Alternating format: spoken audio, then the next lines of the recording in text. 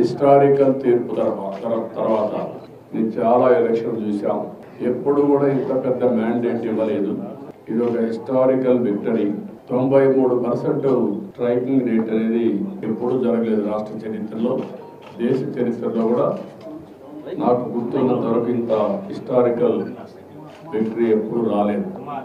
అదే సమయంలో అది అయిన తర్వాత నిన్ననే ప్రమాణ స్వీకారం చేయడం సాక్షాత్తు కేంద్ర ప్రభుత్వం ప్రధానమంత్రి అమిత్ షా గారు అదే మరి వేరే రాష్ట్రాల ముఖ్యమంత్రులు ఆల్ ఇండియా బీజేపీ పార్టీ అధ్యక్షుడు నడ్డా గారు ఇలాంటి ప్రముఖులందరూ రావడం ఆ తర్వాత నేను వెంకటేశ్వర స్వామి ఎప్పుడు కూడా నాకు కులదైవం నేను ఏ సంకల్పం చేసినా ఒక్క నిమిషం వెంకటేశ్వర స్వామిని తలుచుకొని ఆ సంకల్పం ప్రకారం ముందుకు పోతాను.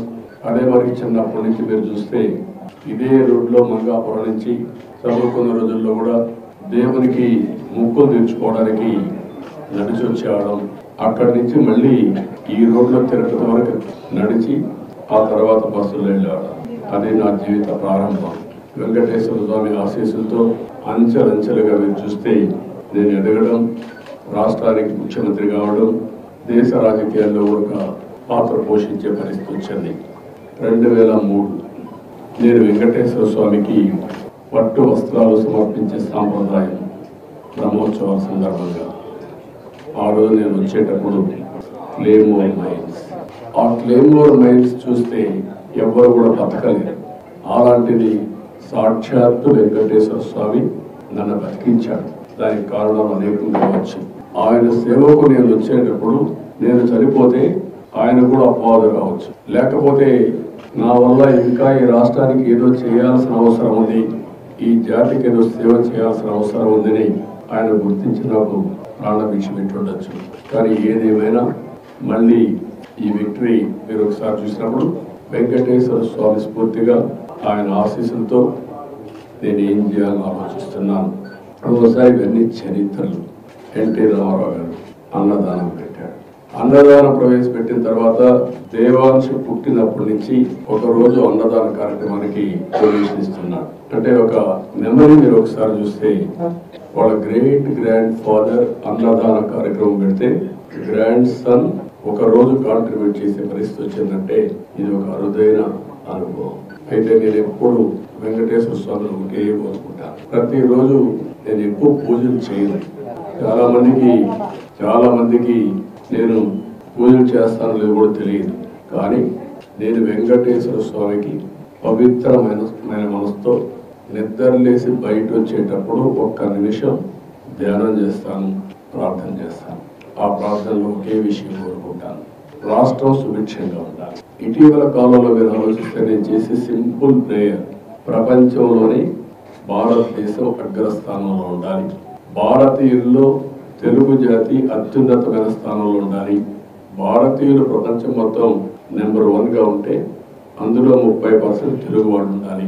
అదే సమయంలో నేను వెంకటేశ్వర స్వామి కోరుకునేది సంపద సృష్టించడం ఎంత ముఖ్యమో సృష్టించిన సంపద పేదవాళ్ళకి వెళ్ళాలి. సంపద సంపదగా కొంతమందికి పరిమితం కావడం కాకుండా పేదరికం లేని సమాజం.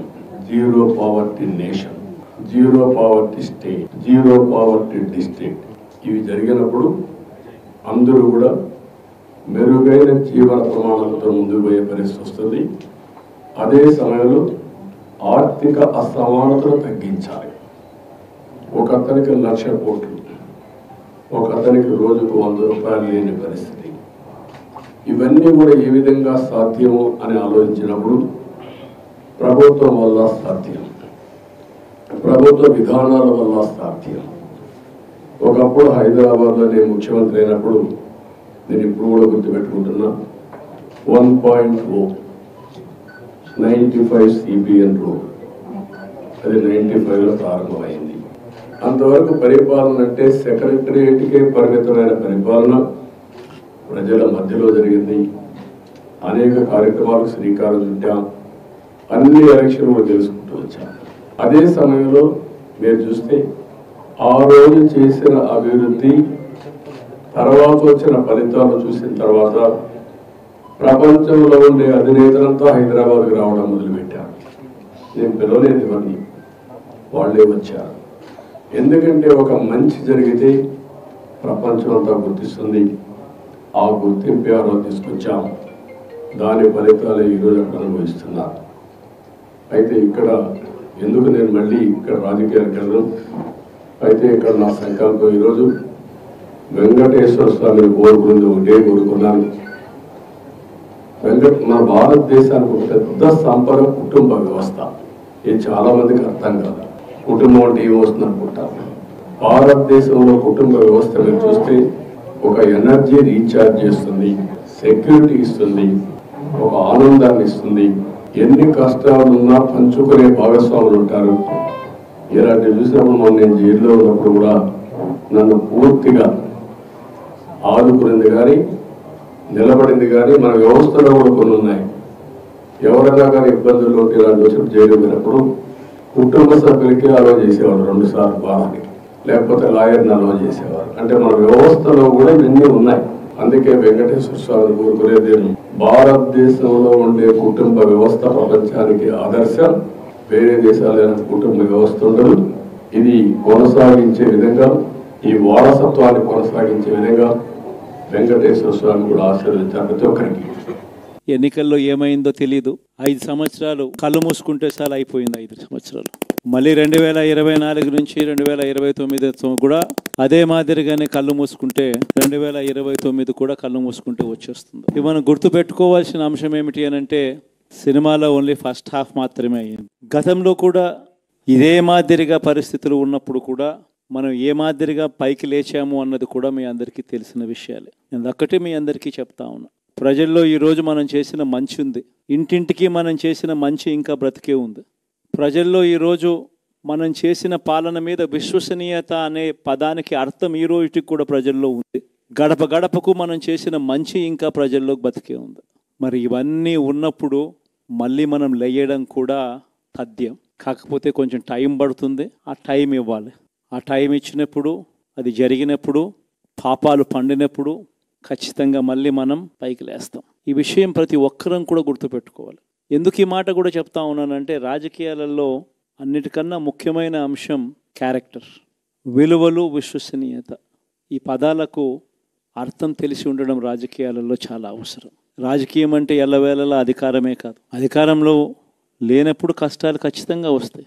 కానీ ఖచ్చితంగా కష్టాలు వచ్చినప్పుడు మనం ఖచ్చితంగా ఏ రకంగా రియాక్ట్ అవుతాం అన్నది మన చేతుల్లో ఉంది. విలువలు విశ్వసనీయత లేని మనిషిగా రాజకీయాలు చేద్దామా? లేదా కష్టాలు వచ్చినప్పుడు ఆ కష్టాలను ఎదుర్కొని హుందాగా నిలబడుతూ మళ్ళీ ఐదు సంవత్సరాలు కన్ను మూసుకుంటే ఐదు సంవత్సరాలు అయిపోతాయి. మళ్ళీ ఐదు సంవత్సరాల తర్వాత మన పాలన వస్తుంది మన ప్రభుత్వం వస్తుంది. అప్పుడు మళ్ళీ మనమే ఆందోళన ఎక్కుతాం అన్నది కూడా గుర్తుపెట్టుకొని అడుగులు వేస్తామా అన్నది మనం మనలో ప్రతి ఒక్కరూ కూడా ఆలోచన చేసుకోవాలి. ఇదే మన ప్రభుత్వం అధికారంలో ఉన్నప్పుడు కులం చూడలేదు మతం చూడలేదు ప్రాంతం చూడలేదు రాజకీయాలు చూడలేదు. చివరికి ఏ పార్టీకి ఎవరు ఓటు వేశారు అన్నది కూడా చూడకుండా ప్రతి పథకము కూడా డోర్ డెలివరీ చేయించాం మనం.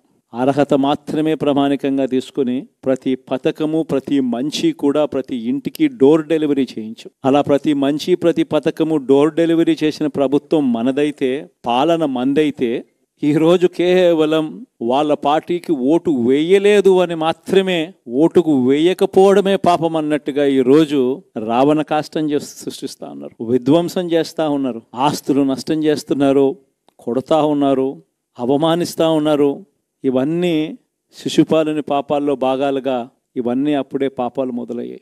ఒకవైపున మనమేమో మనకు ఓటు వేయకపోయినా కానీ ఏ రోజు కూడా డిస్క్రిమినేషన్ చూడలేదు. అటువంటి వాళ్ళకు కూడా మనం డోర్ డెలివరీ చేసిన ప్రభుత్వం పాలన మందైతే ఈరోజు కేవలం ఓటు వేయలేదన్న ఒకే ఒక కారణంతో ఏకంగా కొడతా ఉన్న పాలన వీళ్ళది. ఈ పాపం ఊరికే పోదు.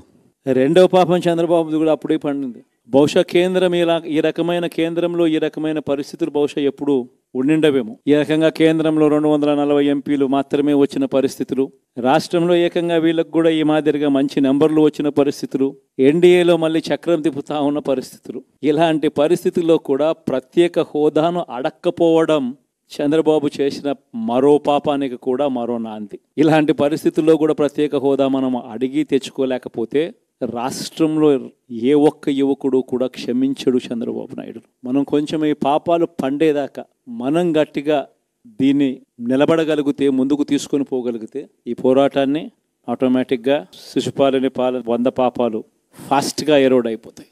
అంటే ప్రతి ఒక్కరూ ఈ మా విషయాలన్నీ గుర్తుపెట్టుకోమని కొడతాం ఎన్ని బహుశా నేను చెప్పేటివన్నీ కూడా మీ అందరికీ కూడా తెలిసినటివే తెలియనేటివి కాదు. కేవలం నేను మీ అందరికీ గుర్తు మాత్రమే చేస్తా ఉన్నా. కష్టాలు రావడం అన్నది సర్వసహజం. కష్టాలు ఇలా మనం ఎదుర్కొని నిలబడడం అన్నది మన చేతుల్లో ఉన్న అంశం అన్నది మాత్రం ఖచ్చితంగా ప్రతి ఒక్కరూ గుర్తుపెట్టుకోమని మీ అందరితో కూడా కోరుతాను శాసనసభలో చట్టసభలో మీ సభే అన్నిటికన్నా ముఖ్యమైన సభ అవుతుంది. ఓటు వేయలేదు అన్న ఒకే ఒక కారణంతో మనుషుల్ని కొడతా ఉన్న పరిస్థితుల్లో మనుషుల్ని అవమానిస్తా ఉన్న పరిస్థితుల్లో మనుషుల్నే బలవంతంగా ఆస్తి నష్టం చేస్తూ ఉన్న పరిస్థితుల్లో ఇక ప్రతిపక్షం ఉన్నది ఒకటే ఒక పార్టీ ఆ పార్టీకి అవకాశం ఇవ్వాలా అన్న కనీస నైతిక విలువలు వాళ్ళు పాటిస్తారన్న నమ్మకం నాకైతే లేదు. కాబట్టి మీరు చేయాల్సిన పాత్ర గొప్పది చాలా ఉంది అన్నది మాత్రం గుర్తుపెట్టుకోండి. రాబోయే రోజుల్లో యాక్టివిటీ లెవెల్స్ అనేది ఆటోమేటిక్లీ పెరుగుతాయి. రాష్ట్ర వ్యాప్తంగా ఉన్న కార్యకర్తలందరినీ ఎవరినైతే వాళ్ళు ఇబ్బందులు పెట్టారో ఖచ్చితంగా వాళ్ళందరికీ మనోధైర్యం ఇస్తూ వాళ్ళ గ్రామాలకు వెళ్ళి వాళ్ళకు తోడుగా ఉండే కార్యక్రమాలు చేసే కార్యక్రమాలు జరుగుతాయి. రాబోయే రోజుల్లో ఇంకా టైం గడిచే కొద్దీ ప్రజల్లోకి వెళ్ళే కార్యక్రమాలు ఇంకా ముమ్మరం అవుతూ పోతాయి. చివరికి ప్రజల్లోనే ఉంటాం. ప్రజలతో కలిసి పోరాడే కార్యక్రమం వేగంగా టైం గడిచే కొద్దీ మనము వేగంగా అడుగులు ముందుకు వేస్తాం. ఒకటే ఒకటి మీ అందరికీ చెప్తా ఉన్నా. ఏకంగా పద్నాలుగు నెలలు పాదయాత్రలు చేశాం. ఆ వయసు ఈ రోజుటికి నాకుంది. ఆ సత్తువ ఈ రోజుటికి నాకుంది. కాబట్టి మీరు మాత్రం ప్రతి ఒక్కరూ గుర్తుపెట్టుకోండి. ఆ టైం వచ్చేదాకా మీ పాత్ర చాలా కీలకం.